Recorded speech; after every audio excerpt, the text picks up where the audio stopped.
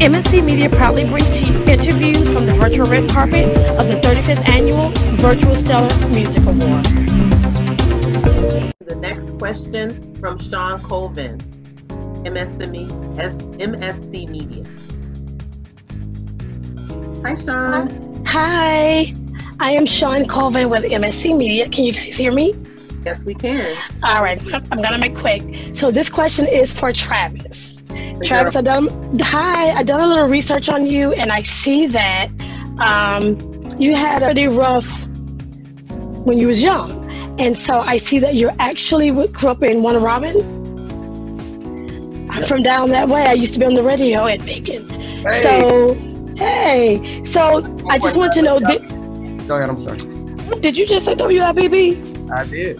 I was on Blazing 92.3 at Kimberly Station holding WIBB. but but that's okay.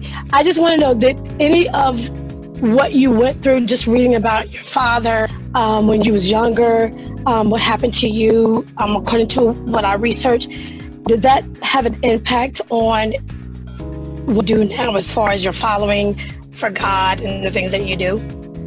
Yeah, sure. I, I think you know, I, I think that's kind of where my, my song intentional kind of came from. Just that I think all of life happening, God used um, and works together for um, for the good of those who love Him and are called according to His purposes. So um, I, I, had a lot of tragedy early in my age, but uh, early in my life. But I think it helped to really put me on a path and a trajectory of, of uh, focus. For me, music was an alternative to um, you know, streets and all of that stuff.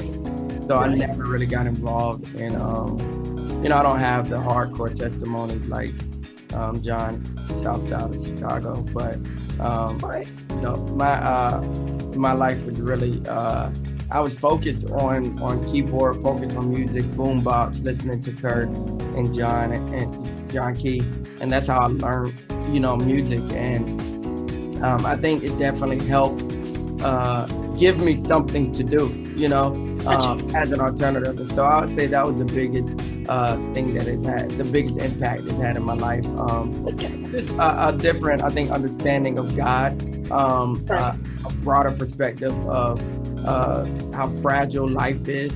Um, and not taking anything for granted. I haven't lost my dad when he was 28. So now I don't take life for granted and I want to be a good father and I want to be a good friend and you know, all of that good stuff. So it definitely had it. Okay, well, good. Well, thank you. Back town. Back town. question. Thank you for your question, um, Sean, and for being with us today.